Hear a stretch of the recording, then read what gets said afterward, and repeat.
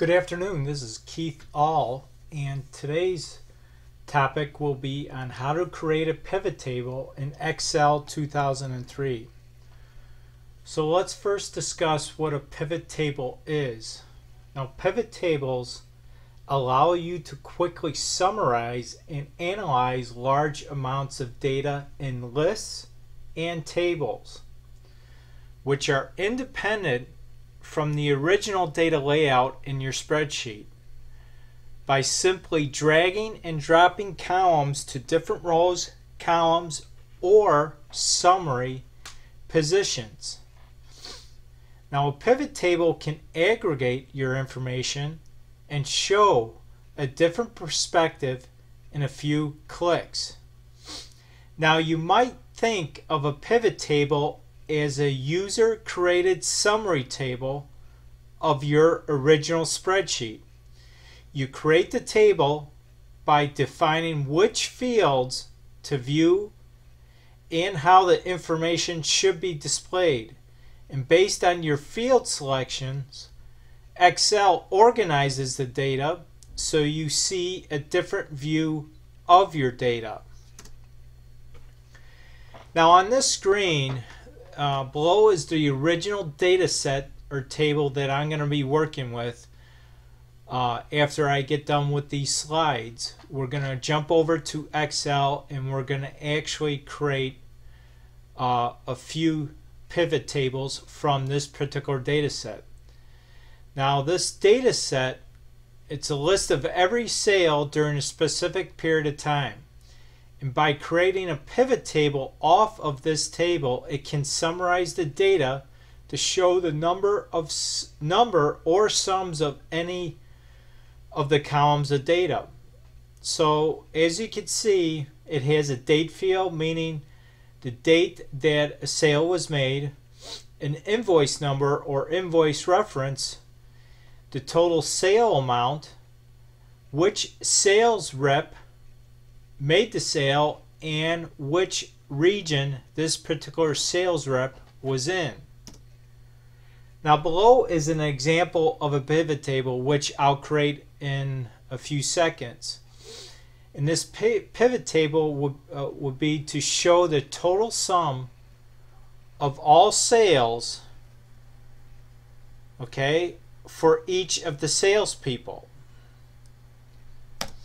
Now here's another example of a pivot table.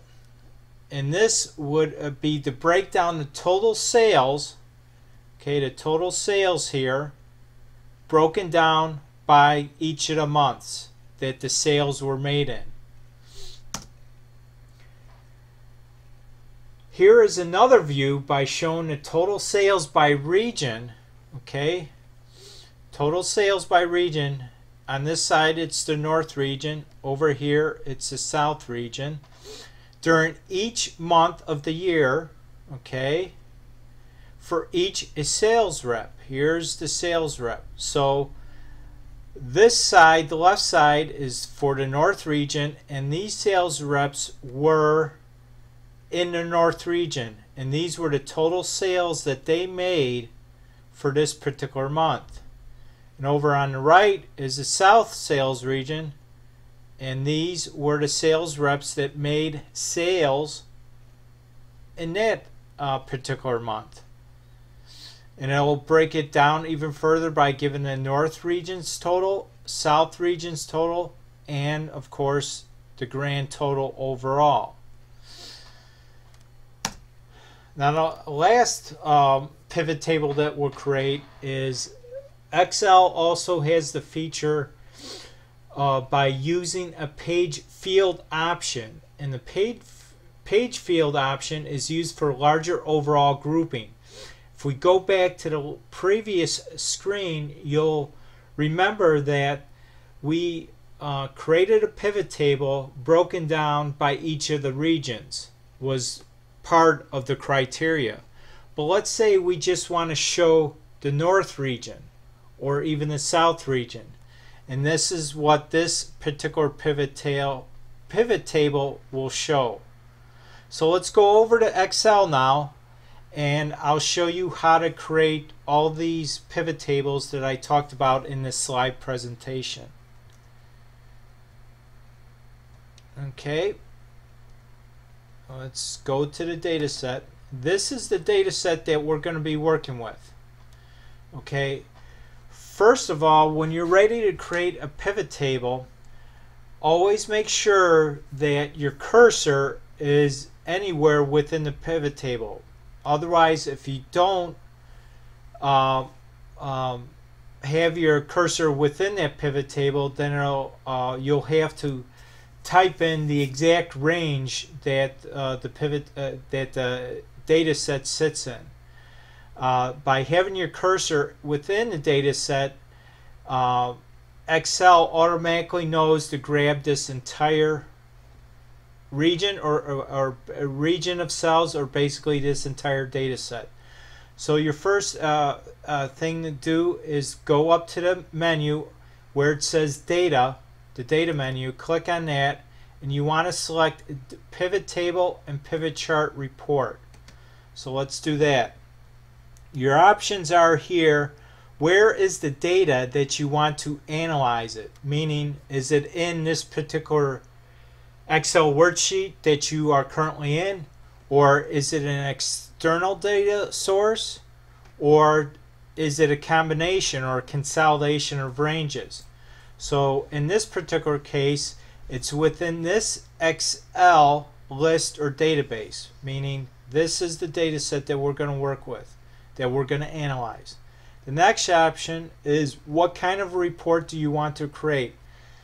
This tutorial is about creating pivot tables, so I'm going to select the option, option of pivot table. So we're going to click the next button. Now, as you can see from this floating uh, uh, dotted line, Excel automatically knew to select this uh, area because my cursor was within that uh, data set. It uh, creates the range here, relative, uh, absolute reference that we're going to do. So now we're going to click the next button. And the next option is where do you want to put the pivot table report. Now, the first option is in a new worksheet. Basically, I have uh, a few worksheets that are open within this particular workbook. If I select new worksheet, it's just going to make another tab down here with a blank worksheet. If I selected existing worksheet, that means as long as I make the reference to that worksheet in this space, meaning uh, a reference to a particular cell or uh, a reference to a particular name range within one of these sheets, it'll create this pivot table within one of these sheets that I already have created. But what, what we're going to do is I'm going to select a new worksheet and then I'm going to click finish. As soon as I click finish, you'll see down here a new worksheet that will be created. So now we're ready to uh, create our first pivot table. Uh, down here, this tool uh, bar basically automatically pops up when you're ready to create the pivot table. This just gives you uh, some options to work with. This pivot table field list also pops up. And what we're going to do is we're going to drag and drop the list of these fields which were in the original data set and we're going to drag them over here to create our pivot table. So our first pivot table is, and I'm going to go to my pivot table sheet here and we'll uh, and we'll go one by one. So this first pivot table that we're going to create is going to be for the total sales calculated for each of the sales people within that data set. So let's go back to sheet one, which is uh, where we're at. Again, we're going to create uh, the total sales for each sales rep. So what we're going to do here is as you can see over here it says drop row fields here so what we're gonna do is we're gonna uh, uh, drag and drop the sales rep column over to here. Okay. All you do is to drag it and drop it. As you can see, it created a column and it uniquely puts into each row uh, each of the sales reps names that in, that was included in the original data set. Now it says here drop data items here meaning is in this case is I want the total sales for each of the sales reps. So I'm going to grab the amount field and drag it over here and drop it here. So as you can see, this is now a pivot table. It's a summarized table of the original data set and it shows, in this particular instance, the total sales that were made for each of the sales rep. Now if you want to format these numbers to have currency, all you do is select the range or select a column and uh, format it by right clicking on the EE, uh, the selected range and select format cells. And now we want to uh, select currency with two decimal places with the dollar sign symbol. And, if you want negative numbers in parentheses uh, you select that and click OK so now let's widen this column and now you got your um, um, numbers now formatted correctly. So that's the first data uh, pivot table. So we're going to go now to another uh, to create the second pivot table. And now this pivot table is going to be for this one over here, in which is it's going to uh, create a table or summarized table of the sales figures made for each month of that particular year. So now let's go back over to the data set and let's go uh, up to data again. Select pivot table. We're going to select an existing database or list. We're going to create a pivot table. Click next. It's going to select the data range that we want.